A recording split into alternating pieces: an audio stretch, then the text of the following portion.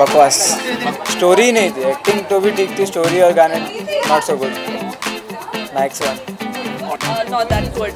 Was expecting at least uh, compared to the Kapoor family and all, but then not that good.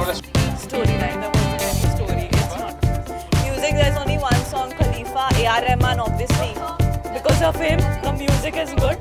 Uh, the actress was really good, but the actor, uh, up to the Kapoor family's mark, I don't think he's uh, not that good. Yeah, yeah. Disappointed completely. Yeah, it's uh, a total disappointment. The movie is not at all good. Direction is not there. Nothing is there. It seems like out of the blue. I mean, कुछ भी हो रहा है बीच में, and then they fall in love, and I don't know what the director was thinking, literally. And the uh, actress is nice. Yeah, Diksha is good, but Arman not good. Seriously, I mean, I thought he was doing too much for his character. अच्छी है different to and half